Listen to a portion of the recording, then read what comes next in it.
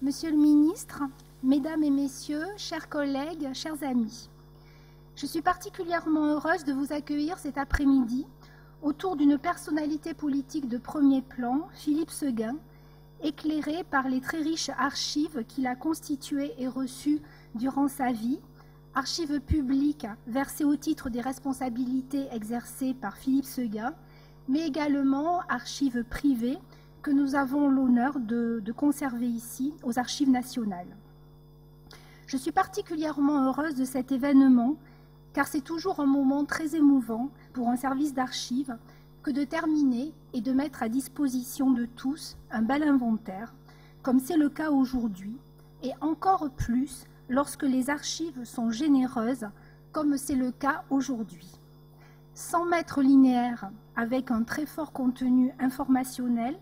reflétant toutes les facettes de l'activité publique et privée de Philippe Seguin, sans lacune particulière. Les archives de Philippe Seguin sont arrivées par plusieurs canaux. Versement administratif, réglementaire d'archives publiques arrivés donc à différentes dates, dépôt d'archives privées après la mort de Philippe Seguin, comme cela vous sera expliqué cet après-midi, et j'en profite pour remercier très chaleureusement Catherine Seguin, Pierre Seguin et Anne-Laure Seguin pour la confiance qu'ils nous ont alors témoignée. Et nous entendrons tout à l'heure Catherine Seguin qui nous évoquera l'entrée de ces archives aux archives nationales. Grand merci pour ce témoignage. Cette imbrication entre archives publiques et archives privées,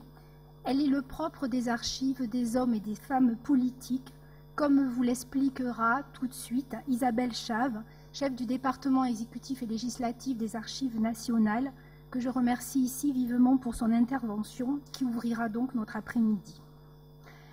Face à une telle richesse, une évidence s'est imposée et cela a été la mise en place aux archives nationales d'une équipe de choc, vous l'entendrez tout à l'heure, pour réaliser dans les délais impartis, deux ans, un inventaire unique et croisé que nous appelons dans notre jargon euh, archivistique répertoire méthodique, qui permet de regrouper, présenter et décrire plusieurs fonds d'archives différents, rattachés par un intérêt commun, ici la personnalité de Philippe Seguin.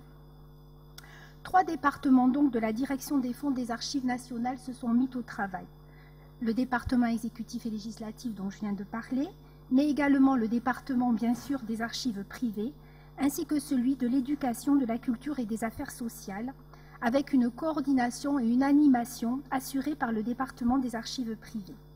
Et je remercie tout particulièrement pour ce travail de coordination Thierry Guilpin, que vous entendrez tout à l'heure aux côtés de ses collègues à la table ronde animée par Zédaïne Robanex, que je remercie également chaleureusement pour cette animation et la mise en place de cette journée.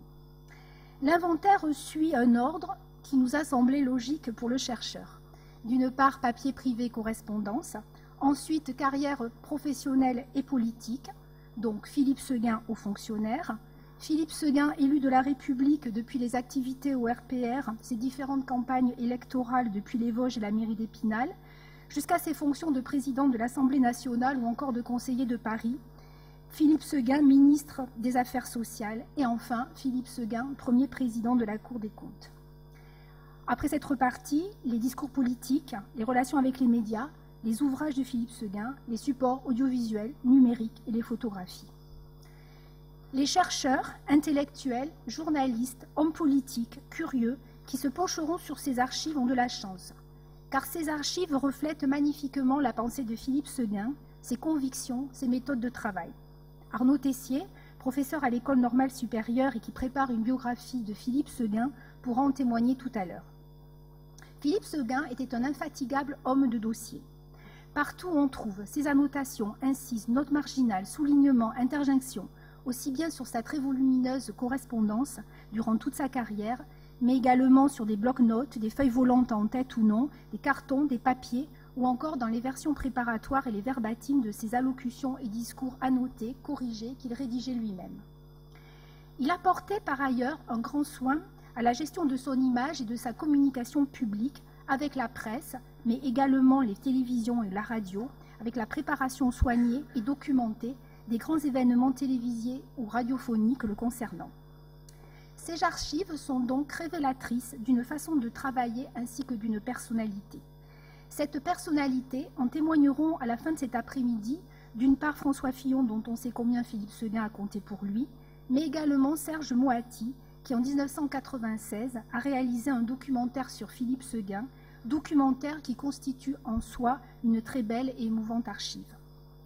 Et vous tous qui êtes présents dans cette salle, vous avez été marqués par Philippe Seguin, tant à travers sa personnalité qu'à travers ses combats, ses convictions et ses passions. Épinal et les Vosges, origine de Tunis ou passion pour le Québec, passion pour le football bien sûr et le sport plus généralement, réflexion et, action fondatrice sur les affaires sociales, le travail, les questions migratoires, l'Europe bien sûr et l'action internationale, transformation profonde du travail et de l'image de l'Assemblée nationale mais également de la Cour des comptes,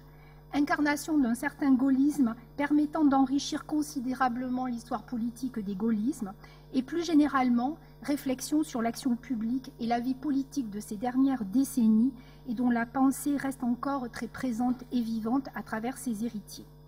Très bonne plongée dans les archives de Philippe Seguin, très bel après-midi à vous, je vous remercie.